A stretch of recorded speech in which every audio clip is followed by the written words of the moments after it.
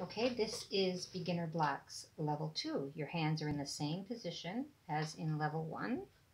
So with the bottom hand in the same position and the top hand is up here, you're going to play four notes on these three keys. And then you're going to play these ones. Then you're going to go back up in a similar pattern. And you're going to jump down when you would have jumped down at the same place in Beginner Blacks Level 1. So here it goes. One, two, oh, and the left hand just stays here as it does all the way through. One, two, three, four.